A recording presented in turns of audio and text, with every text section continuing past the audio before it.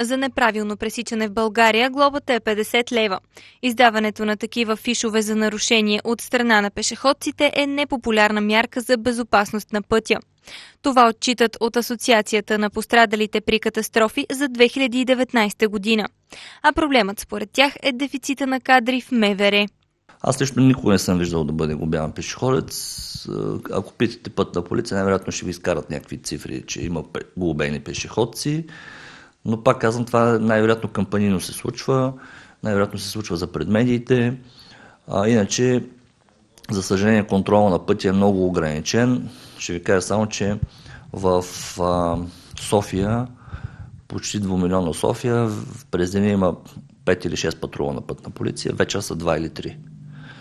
А, 2 или 3 патрула, какво могат да проверяват за алкохол, да проверяват за наркотици.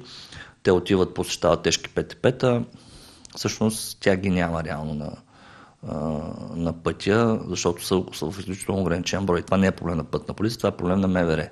Събираемостта на фишовете за неправилно пресичане също е малка и неефективна. Закон за административните нарушения и наказания, той е от 1968 година.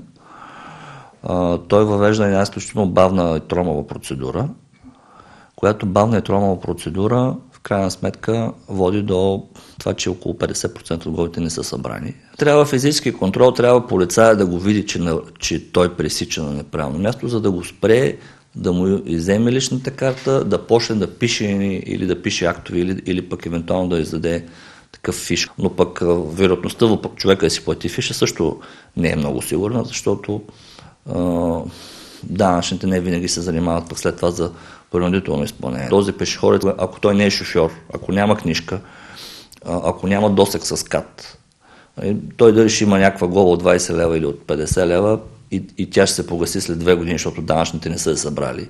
Тоест ефекта в общини пак е, пак е нулев. Според Владимир Тодоров, въвеждането на посттерминали за плащане на глобите на място ще доведе до значително намаляване на броя на неправилно пресичащите пешеходци.